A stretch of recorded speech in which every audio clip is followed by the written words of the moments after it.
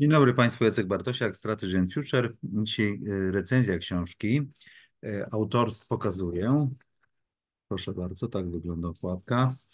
Wydawnictwo Globuk, e, autor Borys Kagarlicki.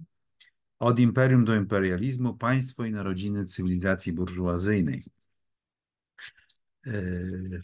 W związku z tym, że wielu z, z Państwa może nie wiedzieć, kim jest Borys Kagarlicki, a ja uważam, że książka jest bardzo interesująca i, i niedawno wyszła, tak jak powiedziałem w wydawnictwie Globuk. Y, zatem przeczytam życiorys, bo to może rzucić pewne światło na tę książkę. Urodzony w 1958 roku w Moskwie, Borys Kagarlicki to rosyjski socjolog i historyk, publicysta.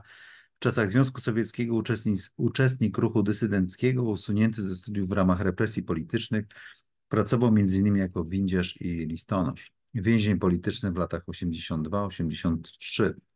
Od wielu lat związany z lewicową opozycją antyputinowską, we wrześniu 2021 roku skazany na 10 dni aresztu za wezwania do protestu przeciwko fałszerstwom wyborczym.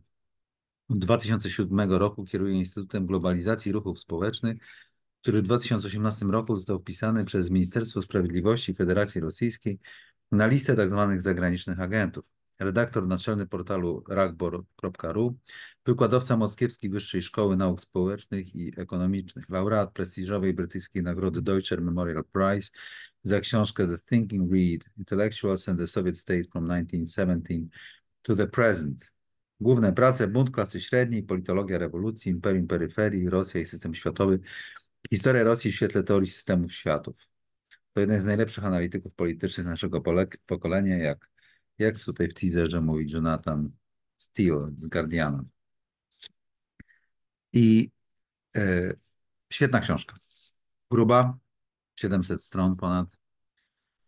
Historia świata oczami Kagarlickiego od początku, od antyku i właściwie synteza dziejów systemu kapitalistycznego, który mnie bardzo interesuje, drodzy Państwo, ostatnio. Dociera do czasów współczesnych i do fundamentów kryzysu współczesności, tego napięcia e, w kapitalizmie. Pisana z, z, z pozycji marxistowskich, ale bardzo interesujących. E, możemy skonfrontować naszą wiedzę od czasów antycznych przez średniowiecze, które jest opisane bardzo szczegółowo, wiek po wieku, w bardzo interesujący sposób. Właśnie z punktu widzenia sił materialnych i ich presji na, na władzę, system polityczny. Oczywiście jest to szkoła wallersteinowska, którą Strategy Future, w szczególności Jacek Bartosiak bardzo lubi, Imperia Światy. No, nie ukrywam, że gdy czytałem tę książkę, myślałem sobie, że jest naprawdę potężne myślenie w Rosji intelektualne. Jeżeli potrafią takie książki pisać i odnosić je do współczesności. Więc jest opis systemu Imperia Światy na 60 stronach, otwierających książkę, które każdy powinien znać. Jest kryzys i rewolucja w średniowiecznej Europie, która dla mnie była absolutnym game changerem, bo o średniowieczu mało wiem, nie ukrywam, ale jak się, ile się dowiedziałem o upadku Imperium Ludzkiego, o lokalnych rynkach, jak się kształtowały fortece i dlaczego, dlaczego kamienne budowle miały znaczenie, o wyprawach krzyżowych, co było ich powodem, później wielki kryzys XIV wieku i tak dalej, i tak dalej. A później oczywiście powstawanie kapitalizmu, reformacja, ekspansja, kolejne rozdziały, kryzys XVIII wieku, później narodziny hegemonii brytyjskiej, e, kwestia szpenglorskiego zachodu i, i jego stosunku do Chin i do Indii, przewagi Chin. E, no i oczywiście później mamy cały XX wiek ze wszystkimi konsekwencjami. Bardzo, bardzo ciekawa książka. Y, opatrzona ogromną ilością wiedzy i wspaniałych dygresji. Y, no, na przykład widać, że autor chce się podzielić y, szeroką lekturą i opisuje przykładowo na stronie 126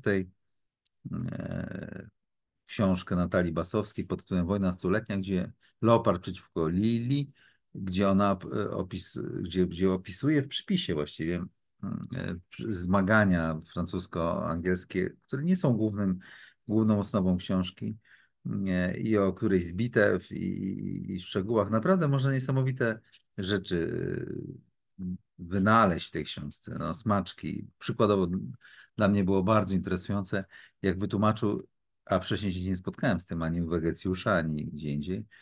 System obrony Imperium Rzymskiego już w wiekach nowożytnych, nie w nowożytnych, tylko po Chrystusowych, yy, prawda, oparty był o system fortyfikacji, później armię wewnętrzną, później armię już alpejską. Jak to działało, jak utrzymywali yy, ten, ten system w równowadze w kolejnych wiekach, to było bardzo interesujące. No i cóż, oczywiście z punktu widzenia marksistowskiego, siły twórczych, pracy kapitału, kumulacji kapitału, rozróżnia tutaj ta książka wspaniale kapitał, kapitalizm handlowo-finansowy, a kapitalizm produkcyjny. Podobnie jak e, recenzowany przeze mnie Varoufakis e, opisuje, że najlepszym okresem wzrostu były lata 45, keynesowskie, keynesowskie lata 45, keynesowskie lata 45-72, gdy kapitalizm produkcyjny miał się bardzo dobrze i wszyscy rośli, wszyscy rośli, klasa średnia rosła w siłę. No, a potem oczywiście się to skończyło.